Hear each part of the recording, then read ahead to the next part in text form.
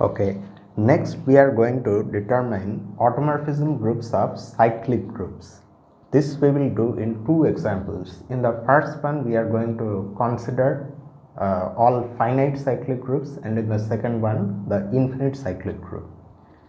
We know, or we already know that up to isomorphism, there is exactly one finite cyclic group for a given order uh, and also up to isomorphism there is a unique cyclic group that is infinite. So let us see the finite case first.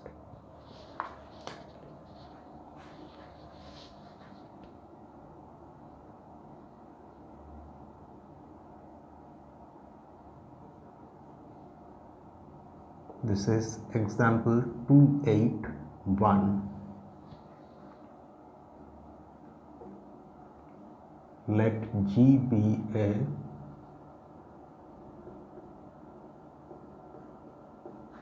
finite cyclic group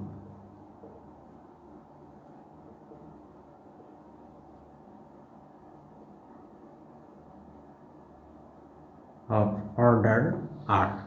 So that means R is some positive integer.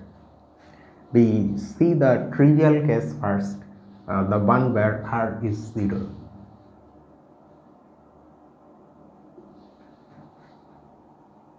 If r uh, sorry i mean where r is 1 if r is 1 then g has only one element.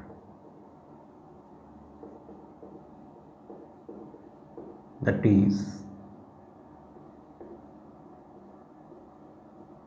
G consists of only the identity element. In this case,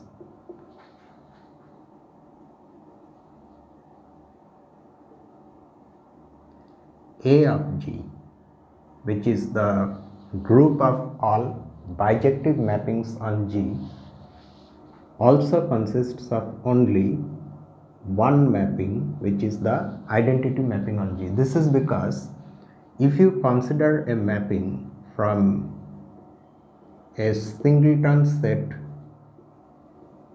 into itself which also has to be bijective then there is only one such mapping which maps the single element to itself and that map is nothing but the identity map on this singleton set. In other words the identity map on G. And now since we know that the automorphism group of G is a subgroup of this so this also should consist of only the identity automorphism because besides being a bijection on this set I is also an automorphism. This we already have seen. Okay, so in this case,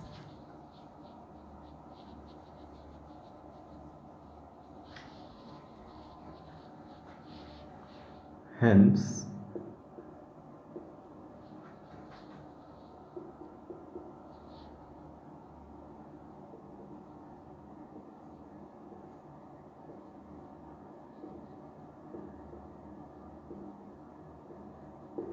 In other words, the automorphism group is itself the trivial group if the original group is the trivial group. Next, now we can go to the non-trivial case where R is greater than 1.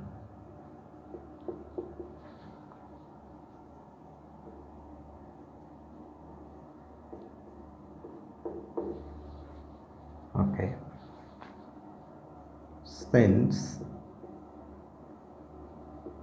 G is cyclic of order R.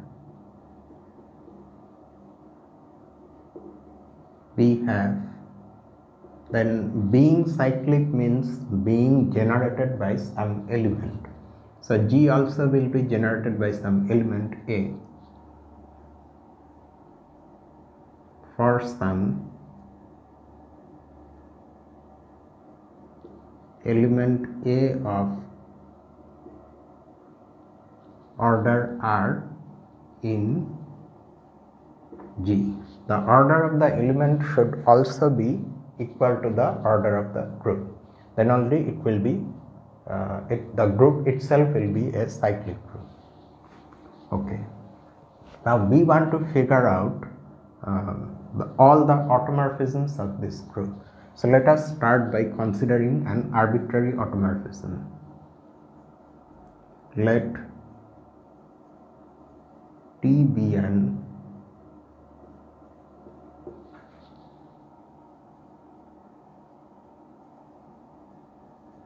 automorphism of G.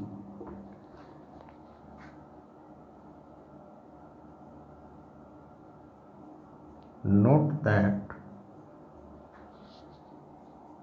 for any integer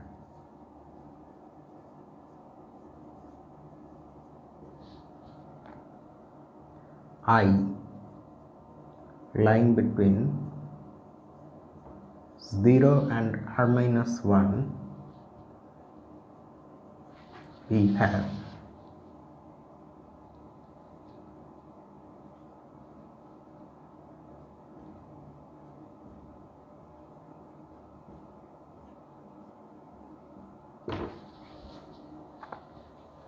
and this is uh, possible because T being capital T being an automorphism is a homomorphism.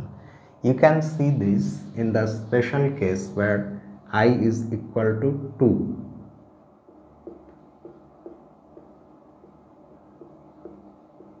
Since T is a homomorphism, we will have AT, AT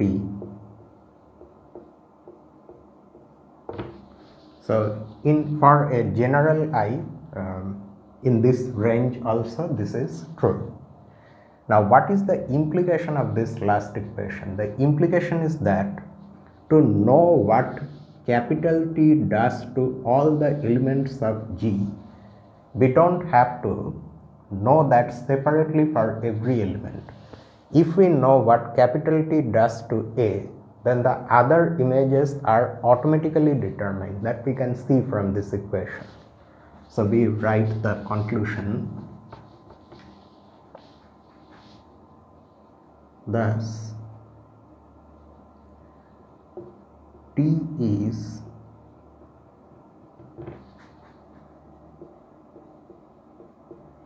completely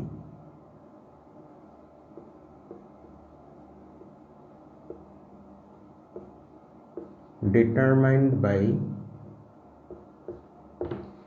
its uh, I mean the image of A under T. We, uh, it's enough to know just that.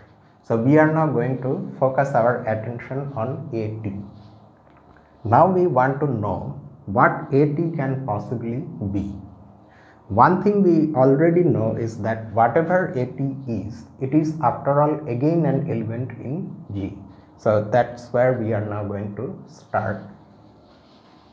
Since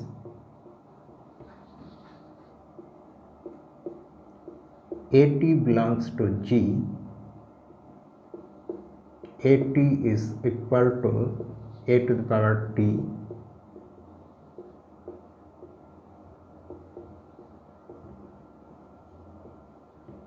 for some integer t lying between 0 and r minus 1 because it has to again be an element of g capital G. And the elements of G look like this. Okay. Now what we uh, want to next show is that t actually cannot be equal to 0 suppose to show that to the contrary suppose t is equal to 0 then what we get from this equation is this. At is a to the power 0 in the group in any group this integral power is the identity which is also equal to et because t is a homomorphism so it maps the identity element uh, onto again an identity element. In this case, both the identity elements are the same because T maps G into itself. Okay. Now, T besides being a homomorphism is also one to one. In fact, T is everything. It's an automorphism, it is a homomorphism, it's one to one and it's onto. We will now use the one to oneness of T here because using that we can now conclude that A is equal to E. Since T is 1 to 1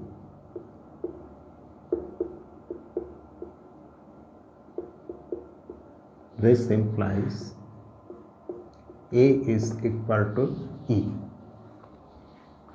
But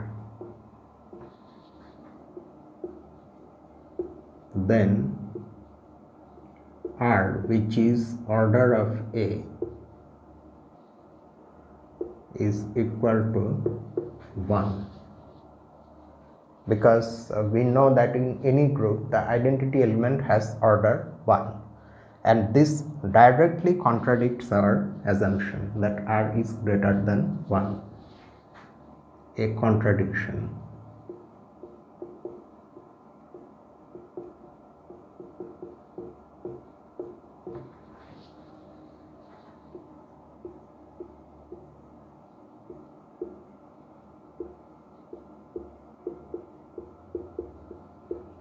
So our supposition is wrong.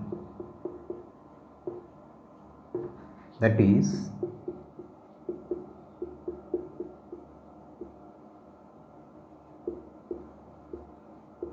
t cannot be equal to 0 that means t has to be a positive integer and at the same time being less than or equal to r minus 1 is equivalent to being less than r. So that means if our capital T is an automorphism then this exponent is a positive integer less than r. We will now show that not only this but this exponent uh, also has to be relatively prime to r. That is the next thing we want to show.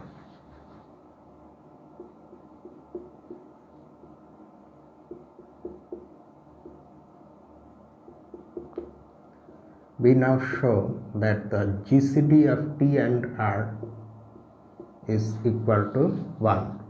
Don't forget that this notation means the GCD of T and R in this book. So for that let D be a positive integer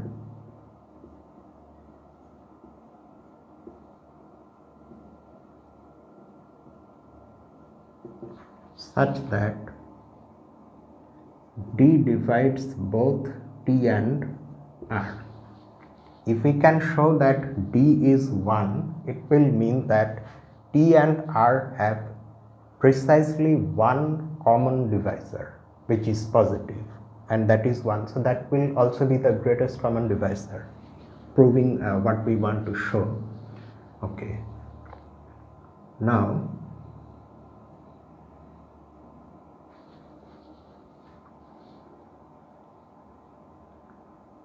we calculate this.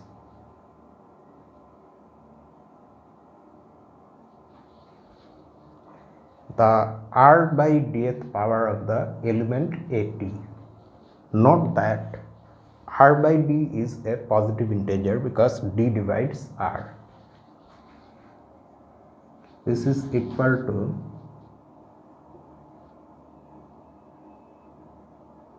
this which using the rules of exponent we can write this as this. Now just like uh, oh sorry. See I wrote the exact opposite thing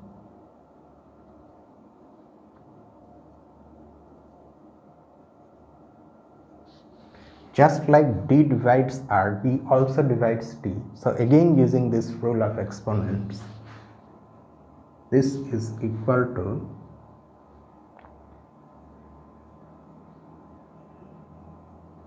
t divided by d.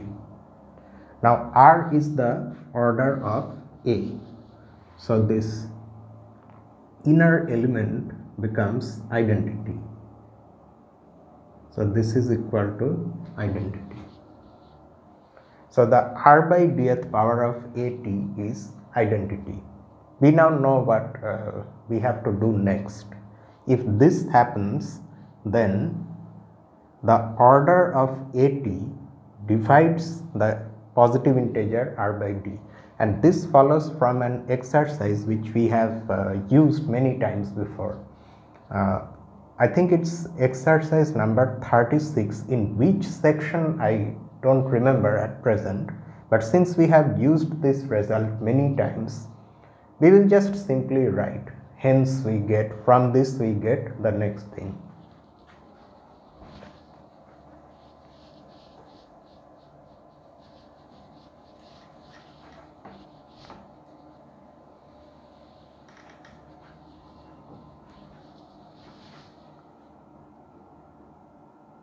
Thus, order of AT divides R by D. Since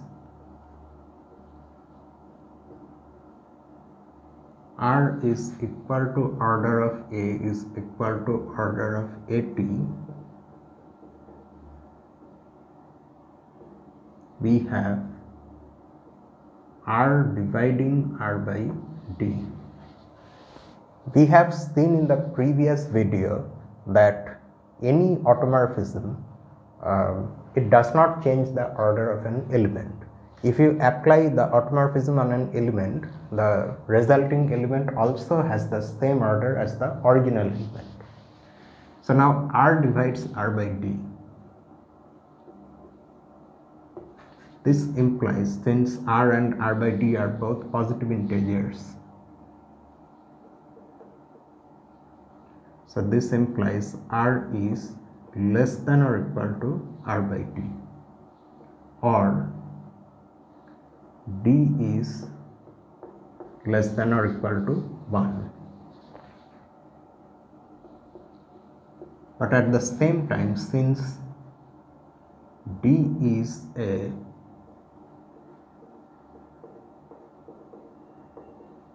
positive integer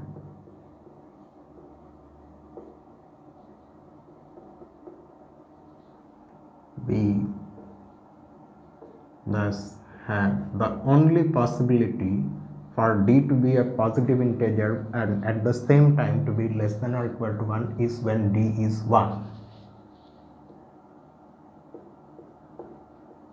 So 1 is the only common positive divisor of T and R.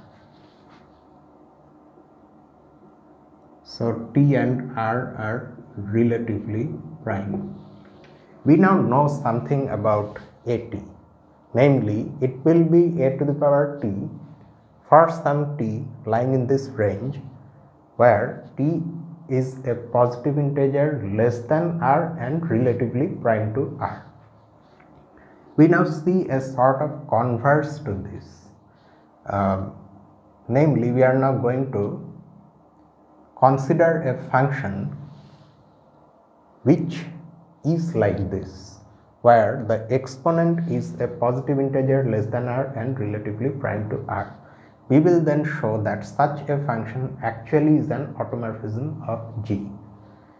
Once we do that, we will uh, then have established a one-to-one -one correspondence between automorphisms of G and positive integers less than r and relatively prime to r.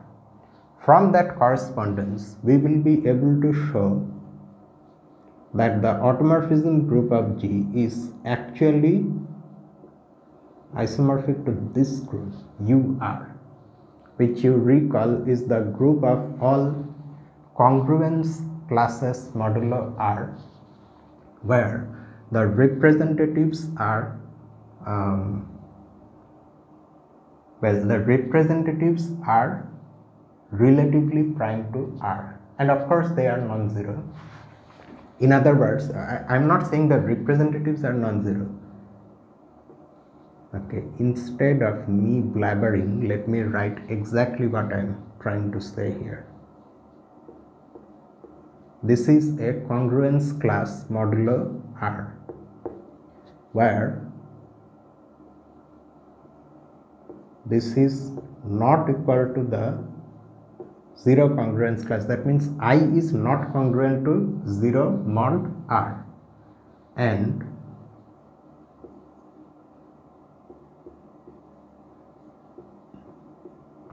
i and r are relatively prime we know that this set is a group under the operation multiplication modulo r. So that group is UR. We are now going to show that this is isomorphic to UR and essentially this will tell us that the automorphism group of G is nothing but UR. So in that sense we will then have determined the automorphism group of G. Okay. So let us now accordingly proceed. Conversely,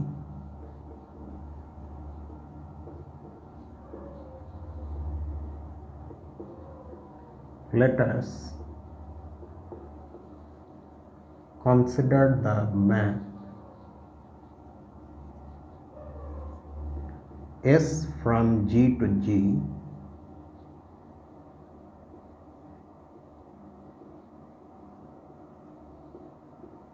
defined by this formula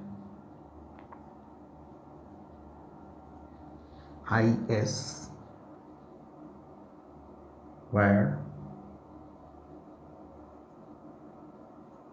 s is a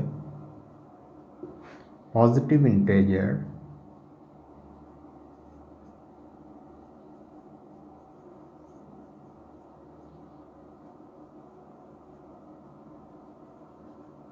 less than r and relatively prime to r.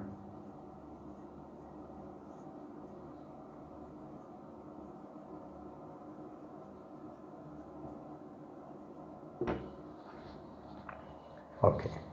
Now the first job is to show that this function is well defined. That you already know has two parts the first thing we need to make sure is that um, all the images are in G and they are because after all any image you see here is an integral power of A because S is a positive integer and I is some integer. In fact we know what I is um, okay no but uh, here I have something to say you see, the way we have defined this map, we are not actually mentioning what i is. Ideally, if you want, you can mention where i is a an integer satisfying these inequalities. That is because G looks like this.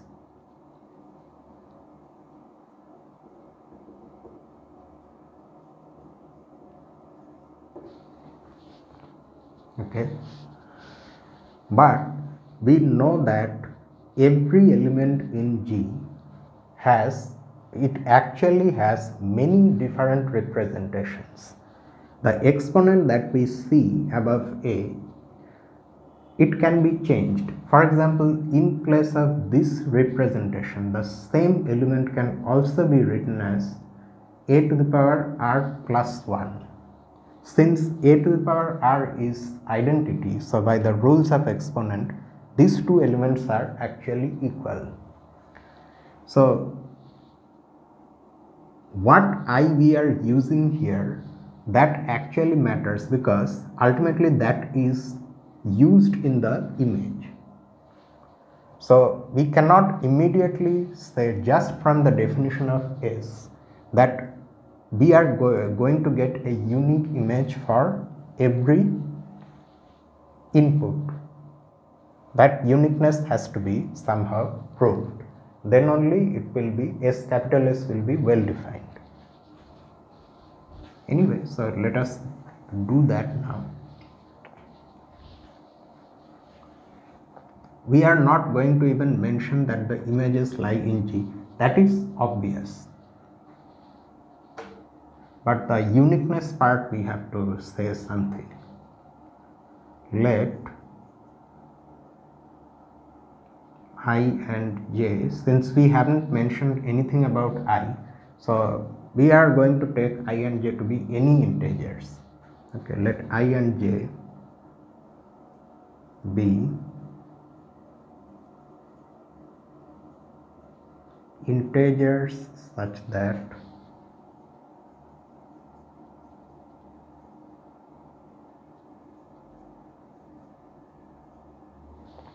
these elements are oh but uh, okay. Yes we do have to say uh, something about the uniqueness but showing that is not a very big deal. That is because from this equality we it implies that the s powers of these elements which are actually the same element are also equal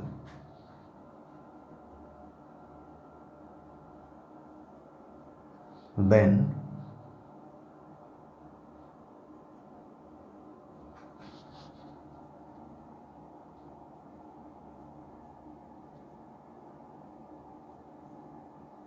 we have used uh, one of the rules of exponents here. Now use this equality.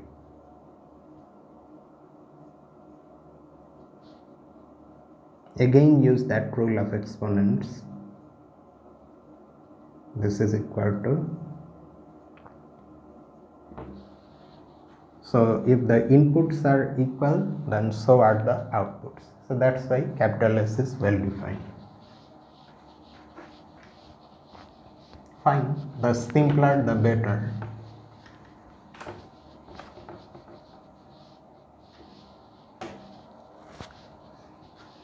Hence capital S is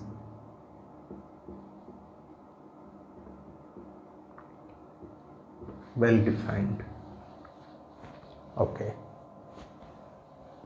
Now now we have to uh, show all the things one by one.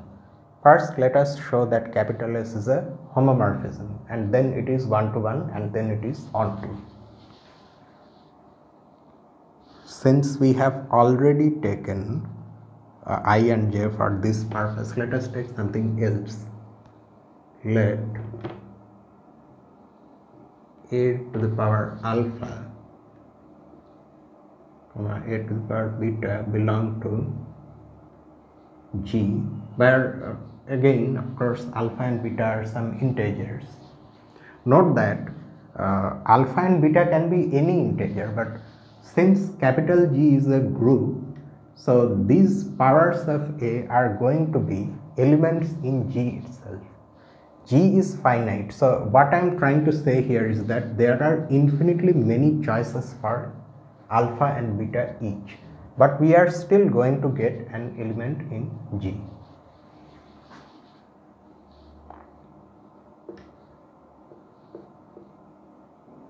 Then we need to calculate this.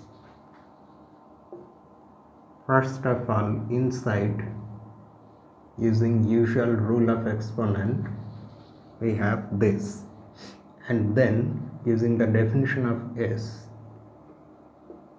alpha plus beta times S. In the exponent we have ordinary integers so this is alpha s plus beta s. Distributive law is true in the ring of integers. And now we use uh, the law, law of exponent, one of the laws of exponent again. Alpha s beta s. so this is the first one is the s image of a to the power alpha and the second one is the s image of a to the power beta so that's it this implies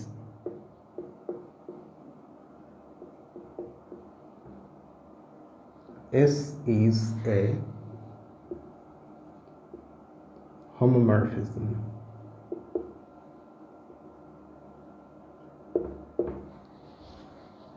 Okay, let us next show that S is one to one.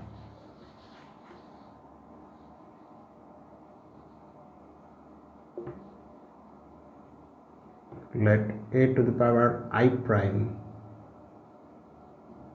comma a to the power j prime belong to G such that their S images are the same.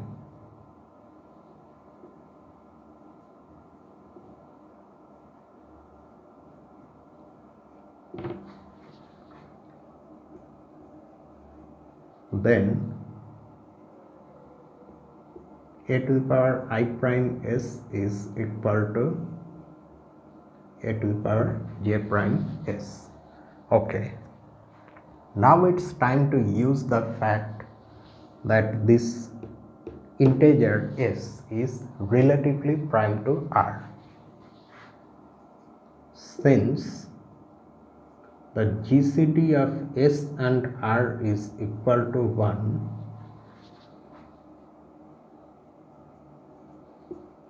there exist integers.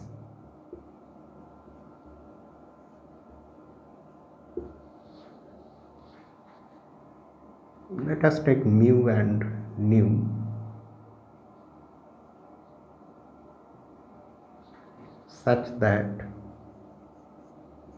this combination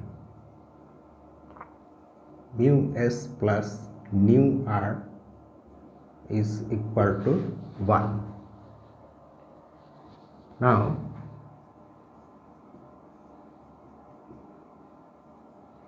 a to the power i prime. So, we have assumed that the outputs are equal. Now, if we can show that the inputs are equal, then that will imply capital S is 1 to 1 and that is what we, will, we are going to do now.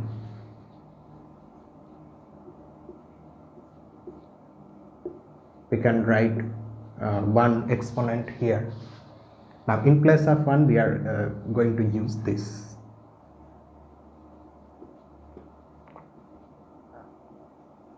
mu s plus nu r use the rules of exponents and you have i prime mu s times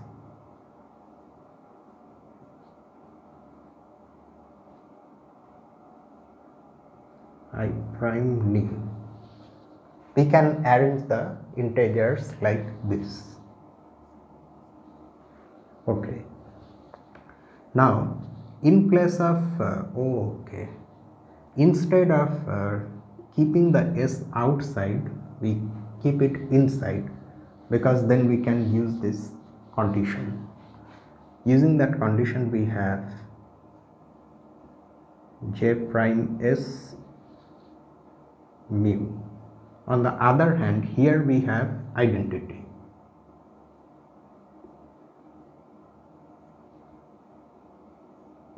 So this is equal to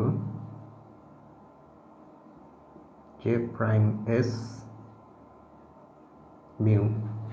Now since any integral power of identity is again the identity all of them are equal so in place of excuse me i prime nu we can put um, j prime nu also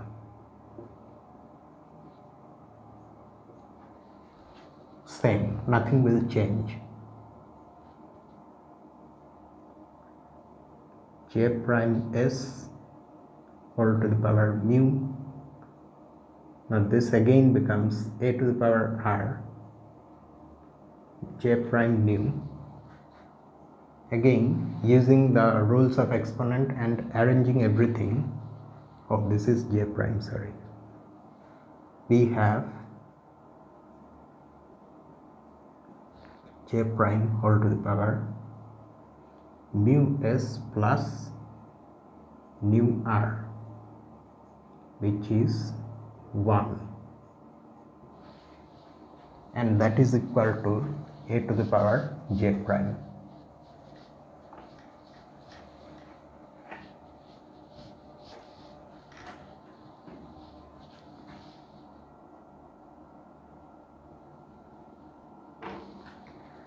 So um, the hypothesis that the outputs are equal implies that the inputs this one and this one are also equal.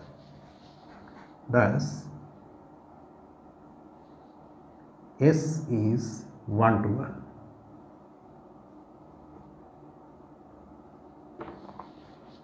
Now recall an exercise, exercise 8 of section 1.2. In section 1.2 we saw functions and there we proved something like this. A set was given to us. Don't confuse this S with this S. Okay, I am uh, stating the that exercise. A finite set S was given and a function sigma from S into itself was given. But in that exercise, we have shown that if sigma is 1 to 1, then sigma is also onto.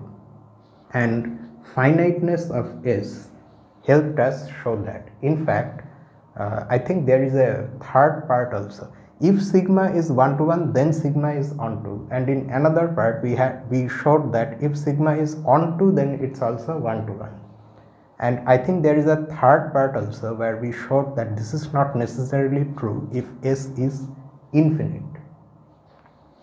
We can now use that result here.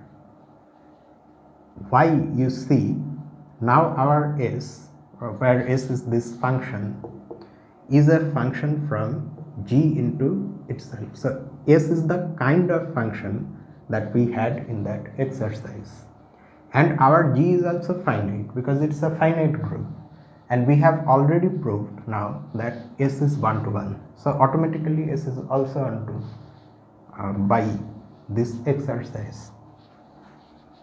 So for ontoness we don't have to do anything.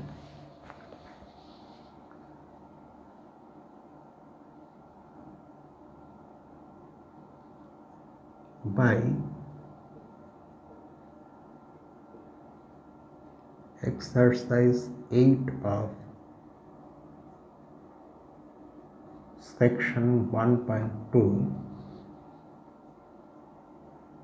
then S is onto as well.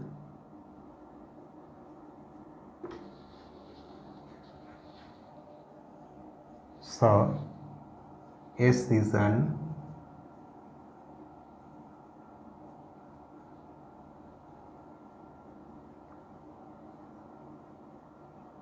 automorphism of G. So these two things, the previous one and this one establishes a one-to-one -one correspondence between the automorphisms of G and the positive integers less than r and relatively prime to r. Okay, now we can define uh, that isomorphism that we finally want and that thing is going to be done like this. But before we do that let us define a notation. The notation will be defined like this. For let us write it in another paragraph for an integer.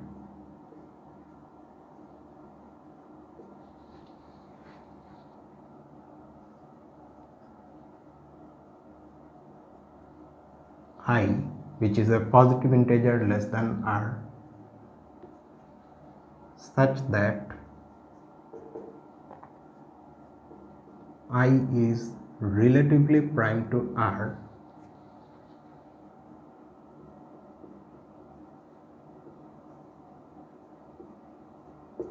we denote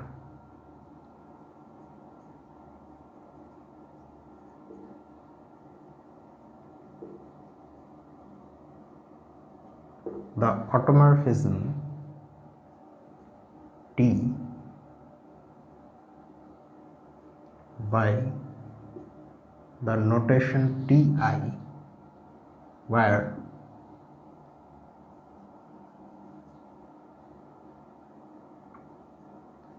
at is equal to a to the power i. Okay.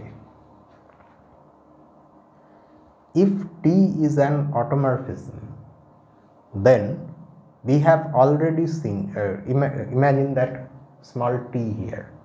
We have already seen that when we apply t to a it the image looks like this.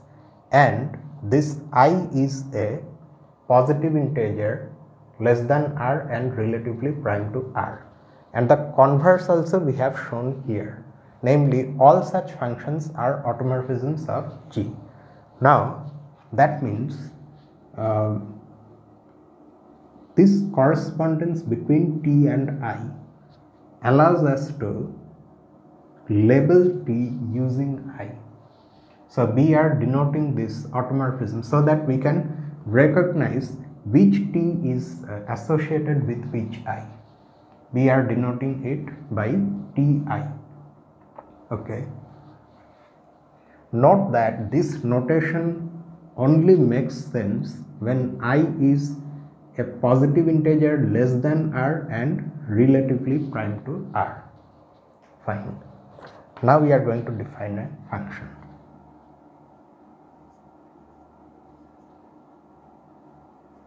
define a function psi from ur to the automorphism group of G by this formula. UR means uh, any element in UR will be an a special type of congruence class modulo R. So it will look like this. Its psi image is defined to be equal to Ti prime where i prime is the remainder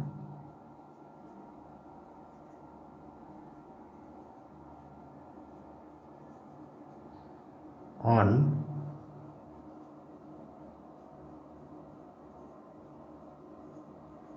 division of i by r.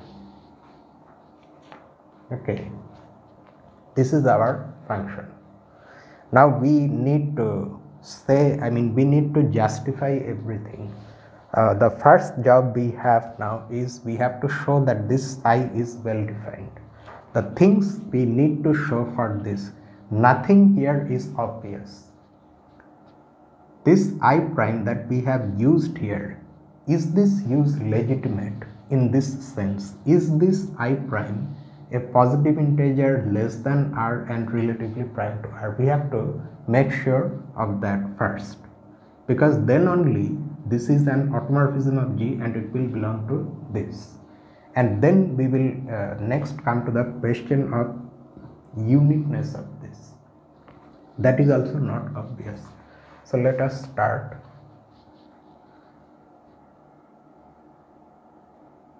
Hmm. let this belong to ur this is any element in ur then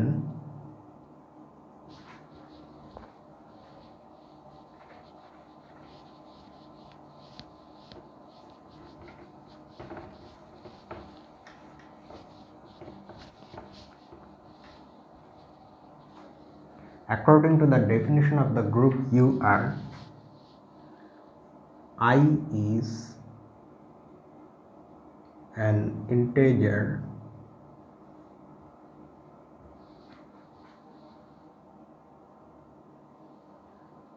not divisible by r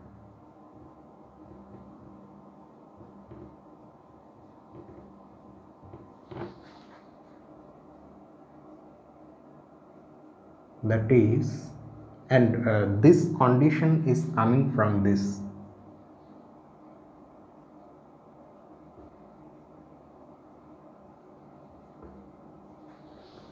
Because the elements in UR are congruence classes modulo R which are non-zero congruence classes modulo R where the representatives are all uh, relatively prime to R non-zeroness of this congruence class implies the integer i is incongruent to the integer 0 modulo r. And that if you just simply translate in the language of divisibility implies that r does not divide i. And i is relatively prime to R. Okay.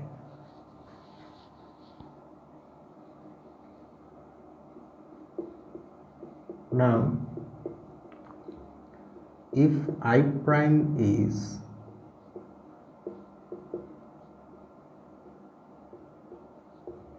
the remainder on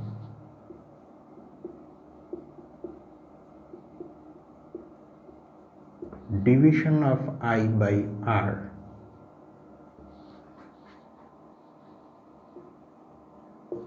So if you divide i by r you can do that because r is a positive integer and in fact recall that r in our case now is greater than 1 mm -hmm. so you can divide i by r you will get a quotient and a remainder by the Euclidean algorithm and that remainder is a is going to be a positive integer. Why? Because r does not divide i. Had r divided i the remainder would be equal to 0 the remainder would have been exactly equal to 0 but because of this non divisibility the remainder will be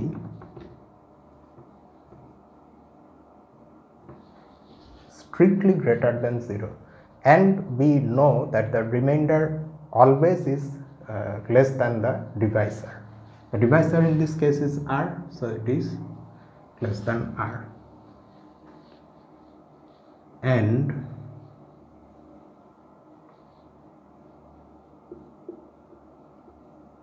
i prime is also relatively prime to r when the number you are dividing by r is relatively prime to r, the remainder also has to be relatively prime to r. Why that you can uh, figure out using the uh, Euclidean algorithm or if you go to section 1.3 where we discussed these aspects of elementary number theory there we will you will see that uh, somewhere we have said something about this. Oh, the place that you have to go precisely to figure this out is in that exercise which tells us how to find the greatest common divisor of two given integers. Do you recall an exercise where we uh, formulated a sort of algorithm where we divide one integer by the other get a remainder and then uh, divide the divisor by the remainder and then repeat the proceed procedure again and again until we get a zero remainder. The first non-zero remainder is the GCD. In the solution to that exercise, you will see that if this is 1 then this is also equal to 1. Okay, so now what can we say from this? Now, the way we have defined this function psi, uh, for this congruence class, its psi image will be equal to this where i prime is that remainder. Now, it makes sense to write ti prime because i prime is not only a positive integer less than r but it's also relatively prime to r. So, we can use this notation. Thus, Ti prime is an automorphism of G. And in this, in writing Ti prime, we have also uh, used the fact that we can in fact write the notation because of these uh, conditions on i prime being satisfied. Okay now we come to the uniqueness of ti prime. Next.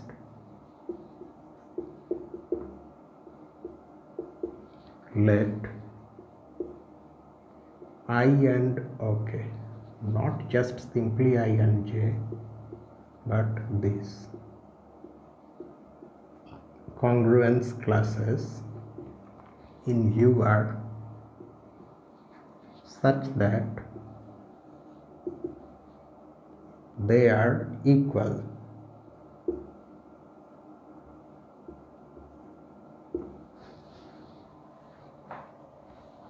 Okay.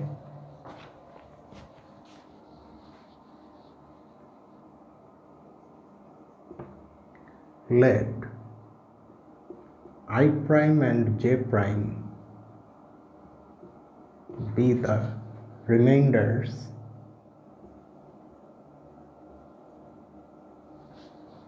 I said that every part of this uh, thing that we are doing is non-trivial.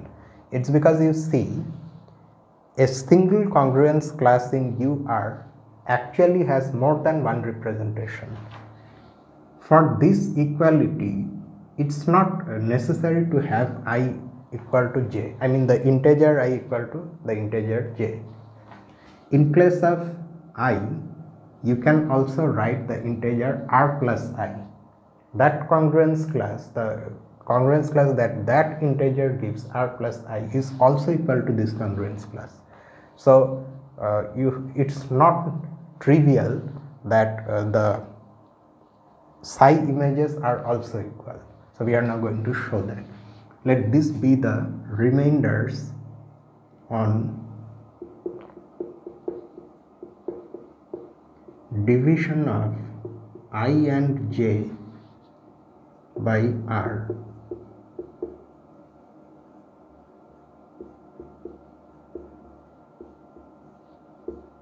Respectively. Okay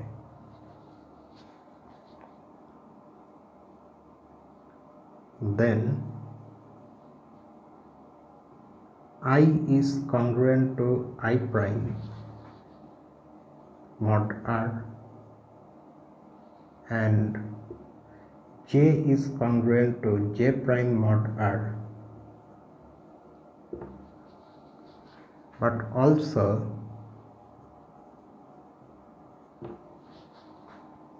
this equality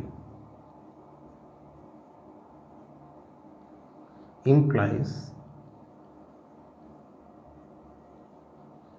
that i is congruent to j mod r. So using the fact that congruence modulo r is an equivalence relation, we have this. Thus, i prime is congruent to j prime mod r. Okay.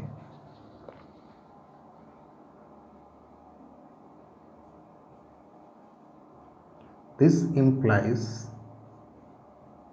this implies what? R divides i prime minus j prime and hence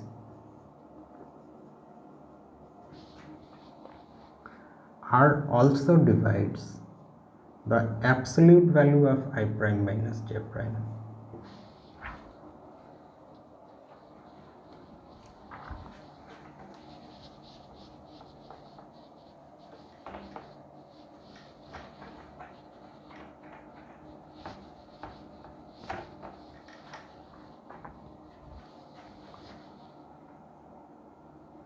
Since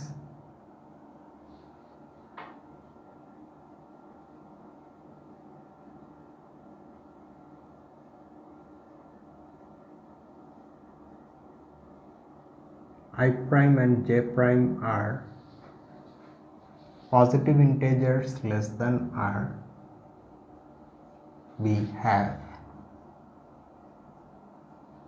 Okay so what is the absolute value of i prime minus j prime? We don't know what whether i prime and j prime are equal or not.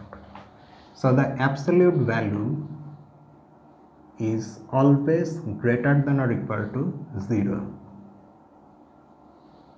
and the absolute value is less than r right?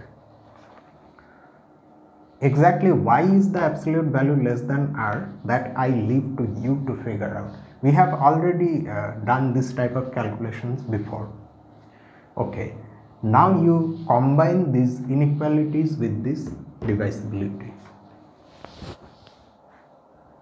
Uh, R divides this means this is a multiple of R but at the same time it's a non-negative integer multiple of R because the this integer itself is non-negative but at the same time it is less than R so all the non-negative multiples of R are 0, R, 2R, 3R, etc.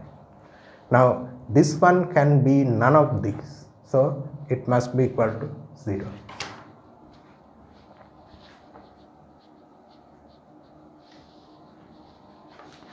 Hence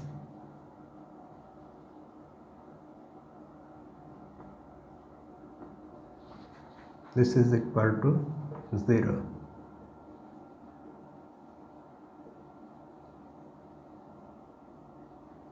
which implies i prime is equal to j prime.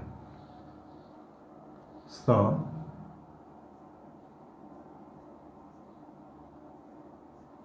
this is equal to ti prime is equal to tj prime because i prime and j prime are the same thing. And that is the image of this. So if inputs are equal then so are the outputs. That proves the uniqueness. Now we can say that psi is well defined. Thus psi is well defined we had to do this much to just say that psi is well defined. Okay. Now one by one we start showing that next psi is a homomorphism is one to one and onto so let us start. Let u and be two elements in UR okay. Let u prime comma v prime be the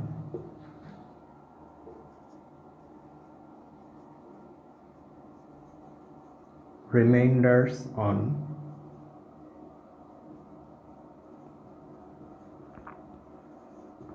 division of u and v by r.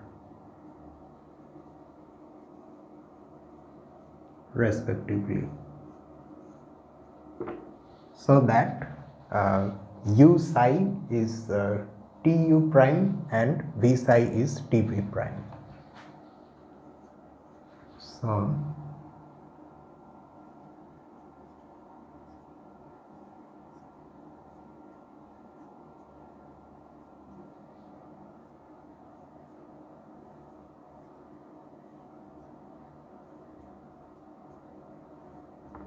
TV prime. From this, we have okay. I need ink.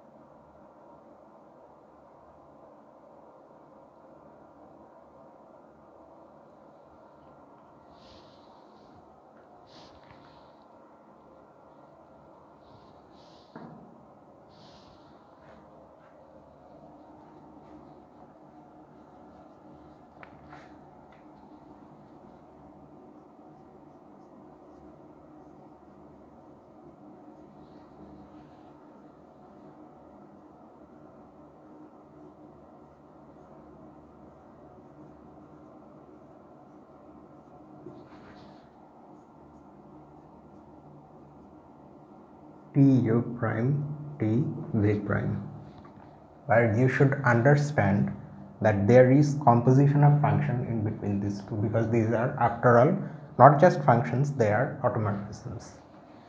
On the other hand what happens when we compose u and v? Now let k be the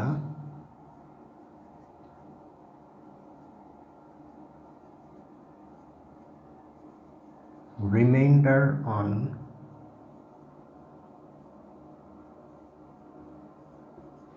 division of the integer uv by r.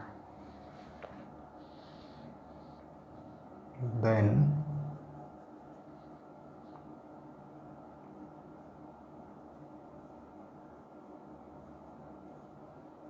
uv psi what is this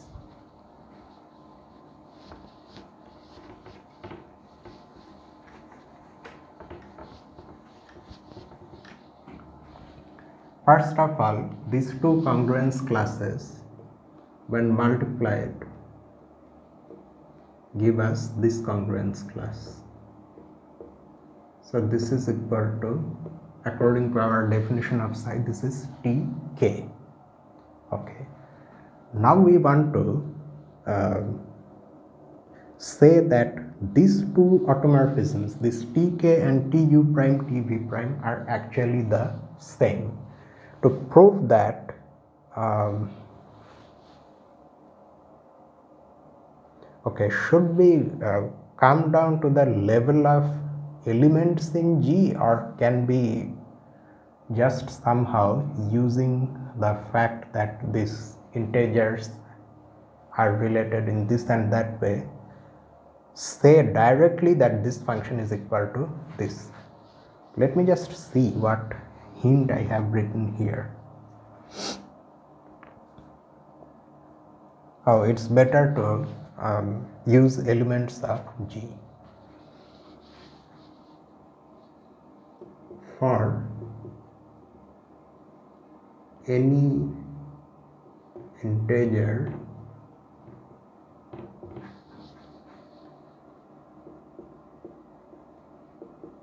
gamma lying between 0 and r minus 1 uh, so we are going to consider a general element in G.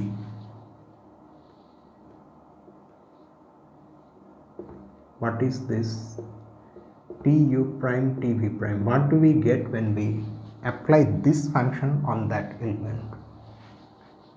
By the definition of composition we have to first apply tu prime and then on the result we apply tv prime. So by the definition of these functions gamma u prime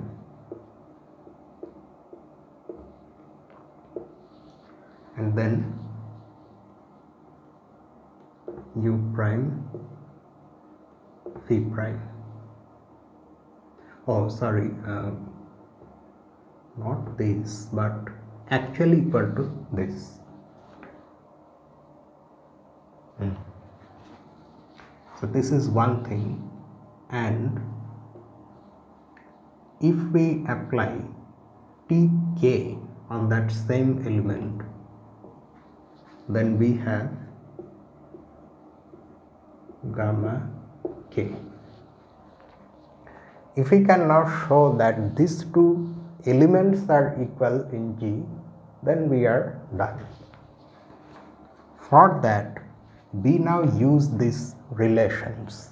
What exactly are u prime and v prime? They are remainders when we divide u and v by r respectively and k is the remainder when we divide uv by r. Now because of uh, these facts u is congruent to u prime mod r. V is congruent to v prime mod r. And uv is congruent to k modulo r. Okay so what can we say? Thus u prime v prime using uh, properties of this relation is congruent to uv um, multiplying these two, two congruences and using the third one this is congruent to k mod r. So the integers u prime v prime and k are congruent to each other modulo r.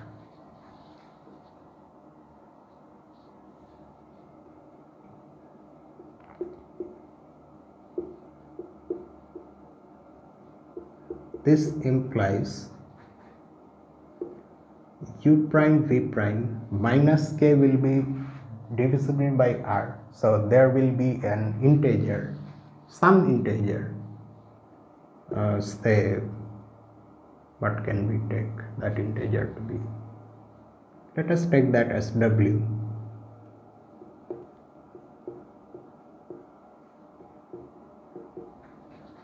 For some integer w.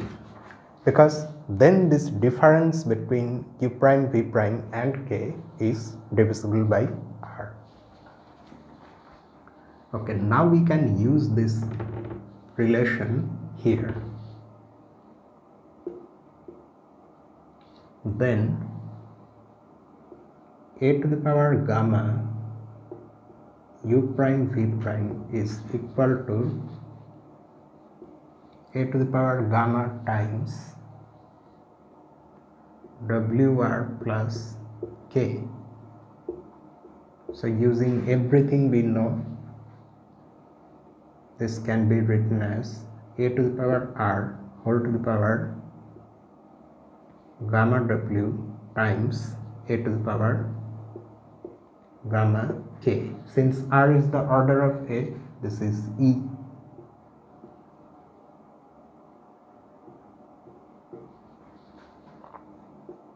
so this becomes a to the power gamma k. So the effect of these two functions one is this function and the other one is tk on any fixed element in g are the same. So the functions are the same. Thus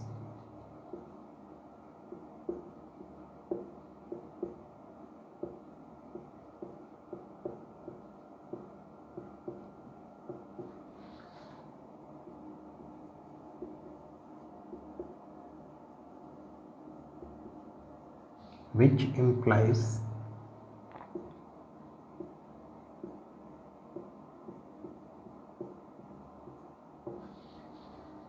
so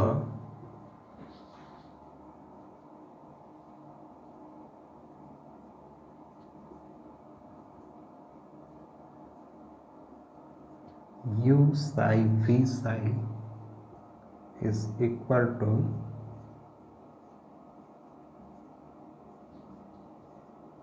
uv psi. This proves that psi is a homomorphism.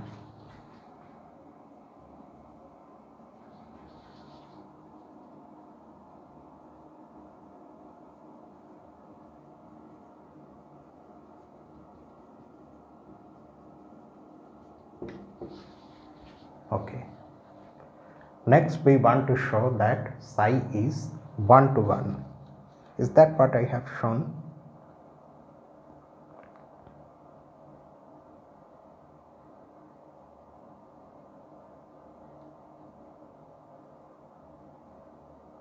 mm -hmm.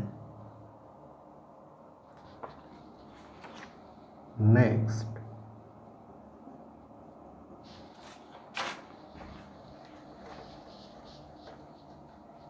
i, j, u, v, w, alpha, beta, everything we have taken. Um, but we haven't exhausted all the letters yet. Next, let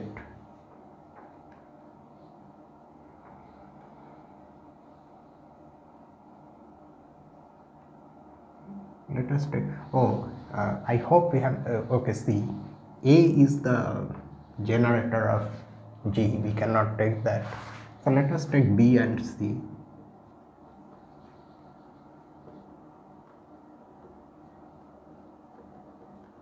Such that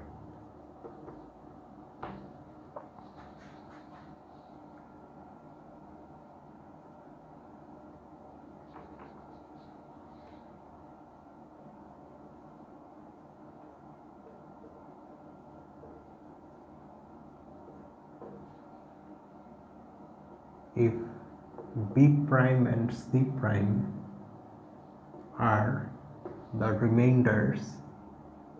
We have to write this again and again. Uh, we don't have any choice on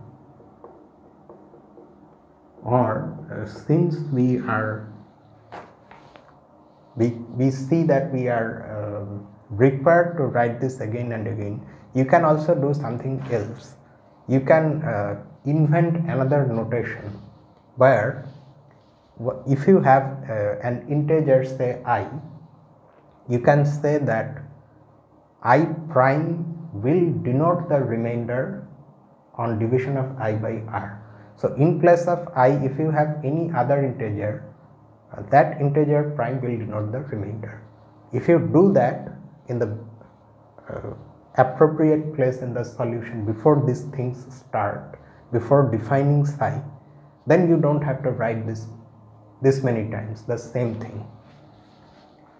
The remainders on division of but since we haven't done that so we have to write the keep on writing this. B and c by r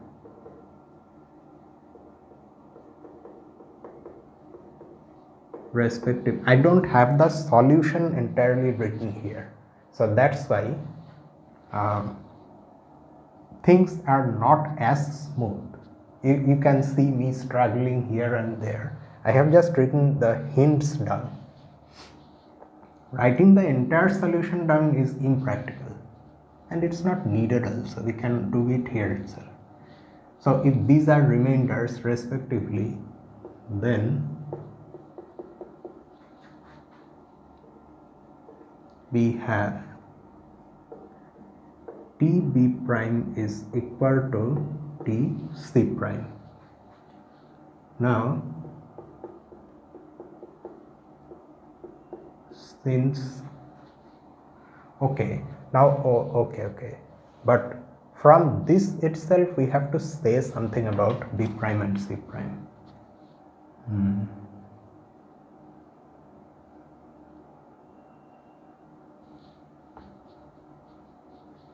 Because then using that we can uh, we ultimately have to say that these two elements are equal. So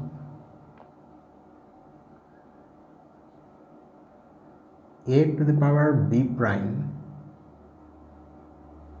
is equal to a t b prime.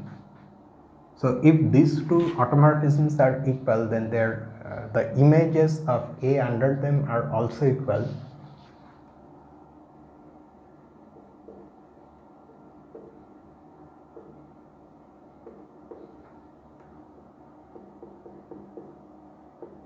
which implies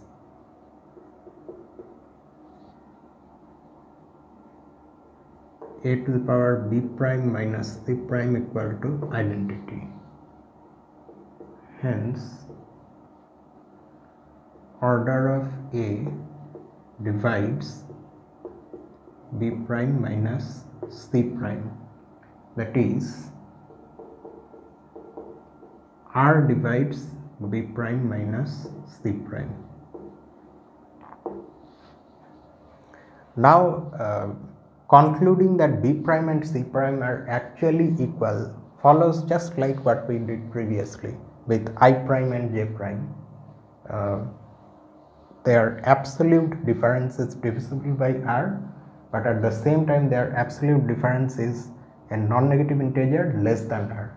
So the absolute difference must be equal to 0 so we are not going to write those things again. This implies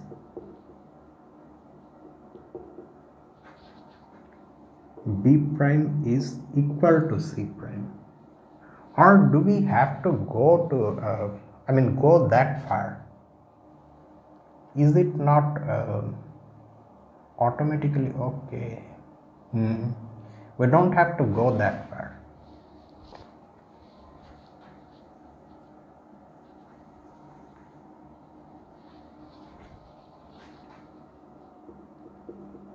That is b prime is congruent to c prime mod r since b is congruent to b prime mod r and c is congruent to c prime mod r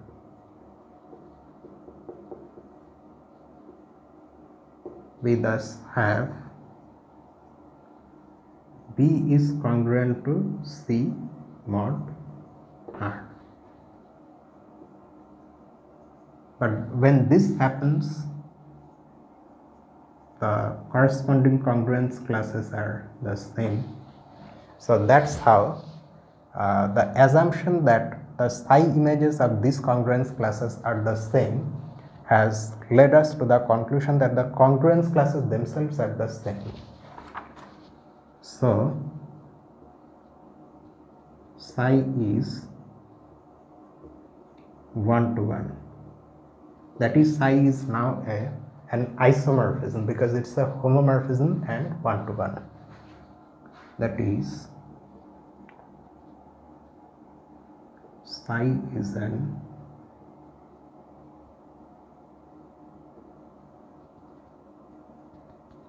isomorphism. Okay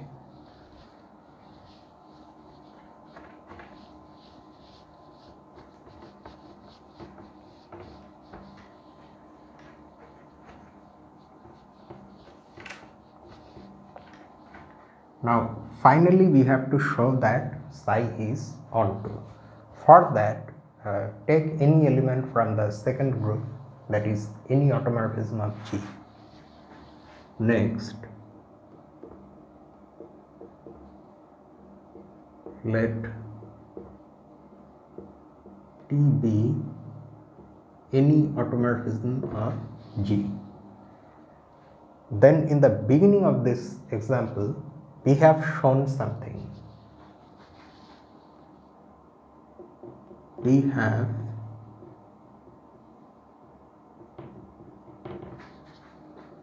already seen that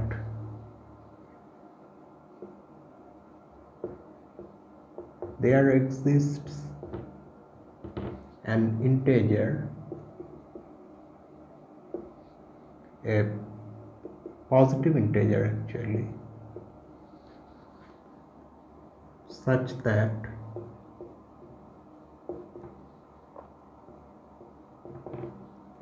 t and r are relatively prime and at is equal to a to the power t. Then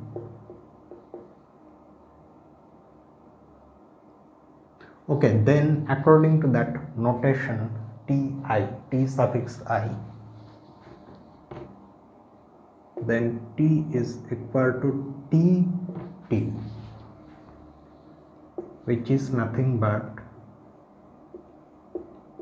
the psi image of this.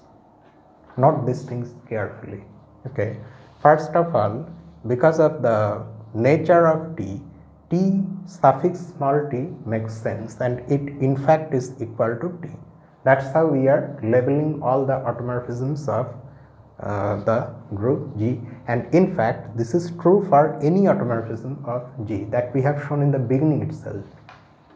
And according to the definition of psi this is nothing but the um, psi image of this congruence class.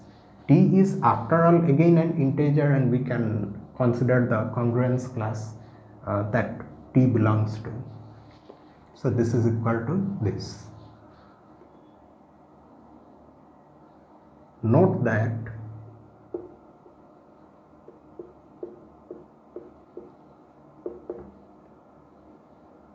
this is important.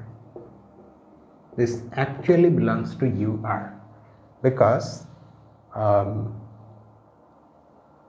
these inequalities tell us that t is not divisible by r.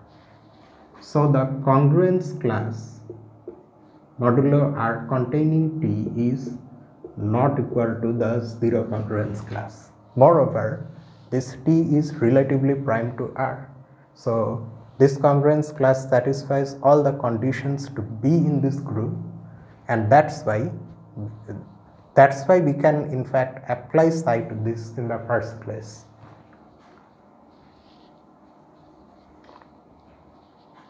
Hence psi is onto so our psi is now an isomorphism of ur onto this. So these two groups are isomorphic.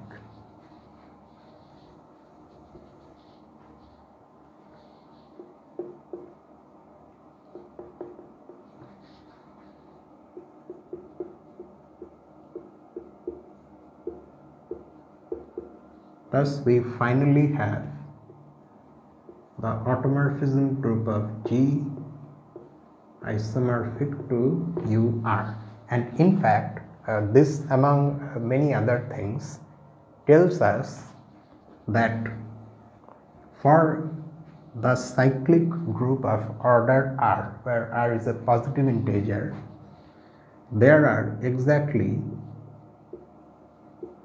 this many automorphisms of um, the cyclic group because this is the order of UR and that should also be the order of this. Okay, so this is example 281. Now we go to the case of the infinite cyclic group.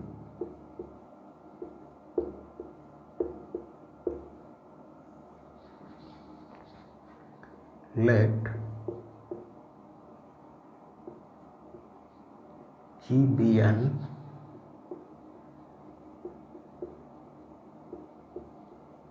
infinite cyclic group.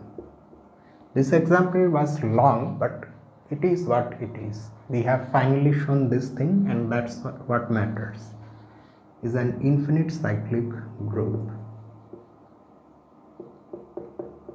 that is G is equal to A where A is an element in G, this is such that a to the power i is equal to identity.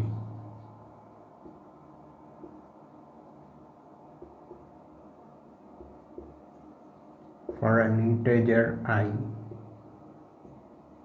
if and only if i is equal to 0 this is another way of saying that a is of infinite order and accordingly g is an infinite cyclic group. Okay. Let t be just like before we start by considering any automorphism of g. Let t be an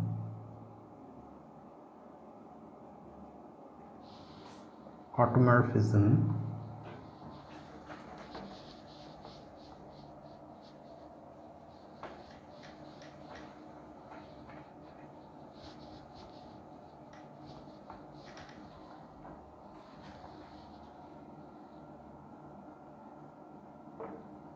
of G. Same strategy now also. Since AT belongs to G, we have AT equal to A to the power T for some integer t okay now next oh exactly this will not give us anything in this case. Instead something else. Um, not the element at but the element a itself. Since this is not exactly the way to go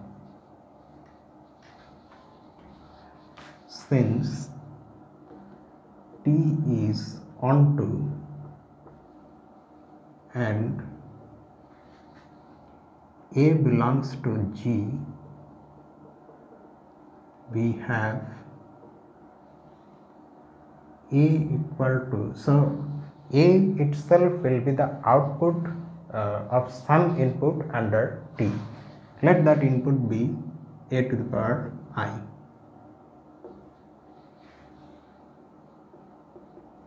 for some integer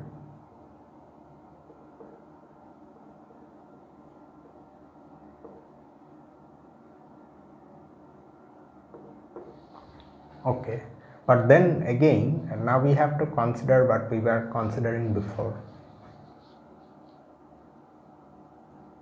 Since at belongs to g at is equal to let us this time take a to the power s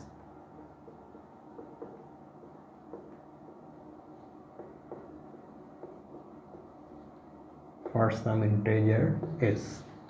We need this to figure out the image of a to the power i under t because uh, that fact continues to be true irrespective of whether g is a finite cyclic group or infinite. The fact that t is entirely determined by the image at that determines all the images. So that's why we are writing this. then or now what do we get from these two things a is equal to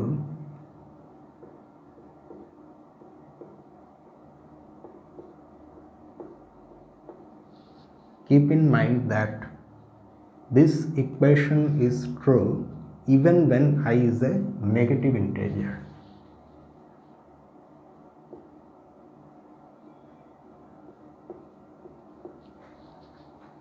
Using the rules of exponent we have si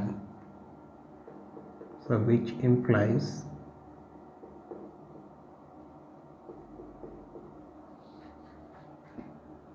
a to the power si minus 1 is equal to 0. Now use the, this condition or we will uh, confuse ourselves with this i. So let us take j here.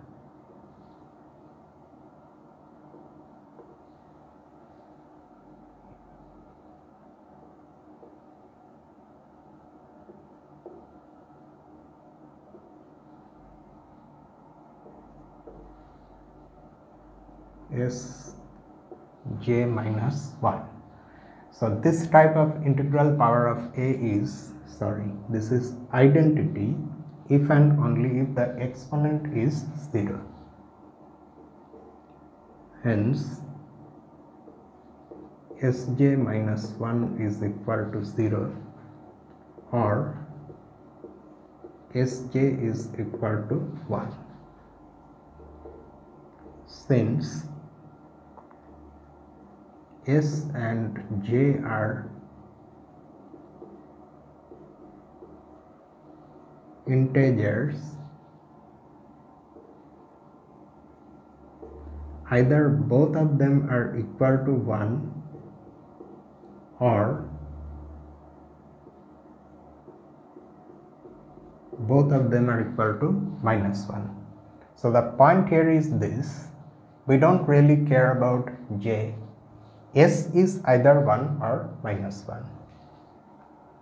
Thus, at is either equal to a or at is equal to a to the power minus 1 or a inverse. Accordingly,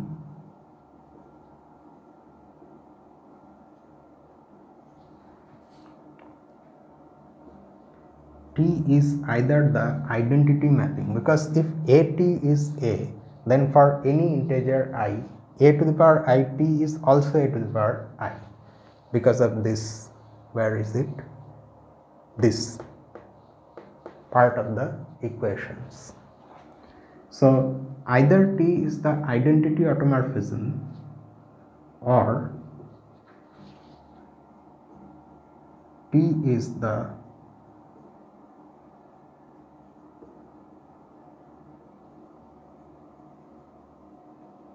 automorphism um, let us call it something j which maps every element of G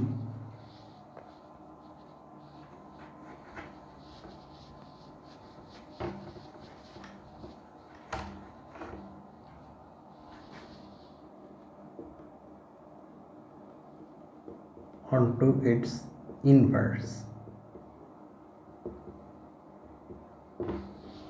We already know that I is actually an automorphism of G. I is an automorphism of every group. Uh, but this other one, the map that maps every group element onto its inverse is also an automorphism. Why? That I leave to you to figure. In fact, we have already done this uh, because our group is cyclic, so it's an abelian group, and in an abelian group, this particular map is a homomorphism, and it's very easy to show that this is one to one and onto, so it's an automorphism. So for the infinite cyclic group, the automorphism group is very easy. It has exactly two elements, i and j. Thus, the automorphism group of G is I and J. So, the automorphism group has two elements and we know that up to isomorphism there is precisely one group with two elements. which is the cyclic group generated by or uh, we can just simply say the cyclic group of order 2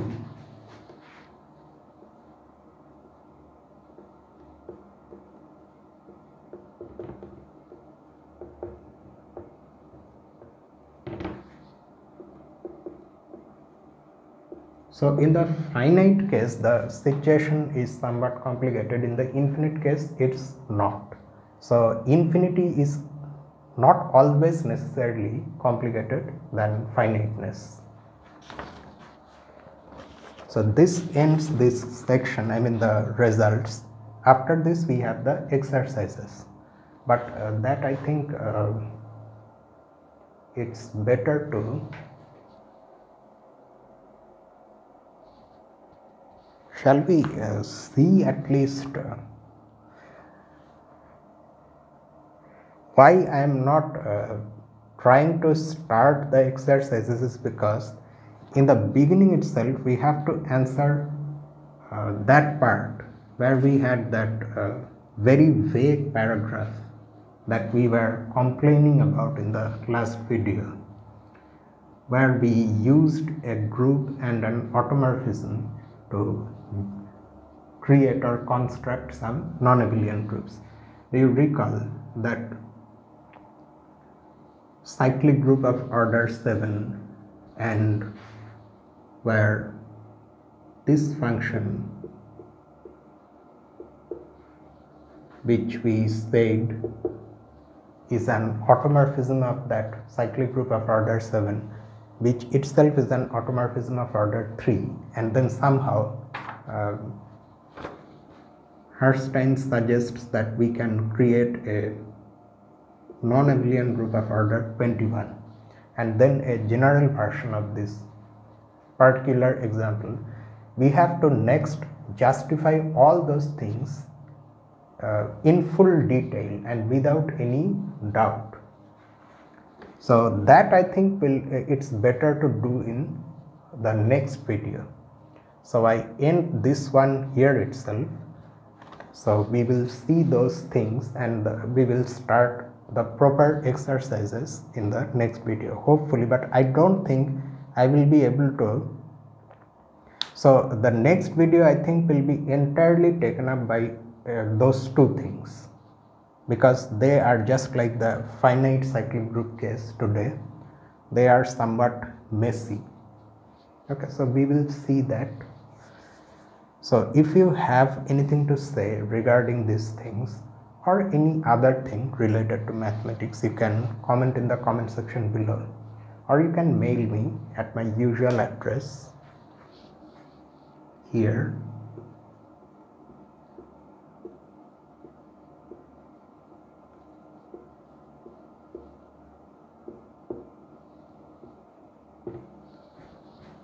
So until the next video um, this is me Lucifer from a mathematical room. Have a nice night